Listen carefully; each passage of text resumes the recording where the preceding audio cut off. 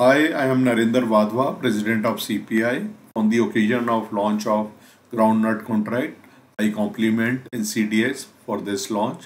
This contract is being launched on 19 June. CPAI welcomes this move as we believe the groundnut derivative offers immense value and opportunities for commodity traders due to its diverse application and high demand.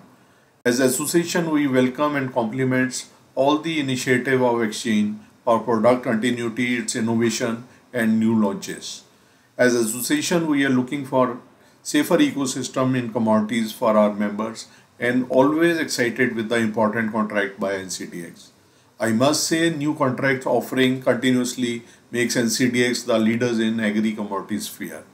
I once again compliment NCDEX for the initiative to sharpen the members' knowledge with CPAI and wish them all the best for groundnut oil. I'll appeal to all my CPAI members to make this contract a great success. The importance of groundnut derivative for commodity traders cannot be overstated. Groundnut, also known as peanut, are versatile crop with a wide range of derivatives that play a vital role in various industries and markets worldwide. In addition to groundnut oil, groundnut derivatives like groundnut meal and groundnut cake are essential components of animal feed industry. These byproducts and protein rich serves as a valuable feed ingredient for livestock, poultry and aquaculture.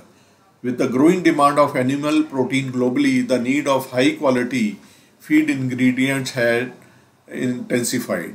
Groundnut meal and cakes makes a cost-effective and nutrient-dense option, making them the integral part of animal feed supply chain and lucrative commodity for the traders.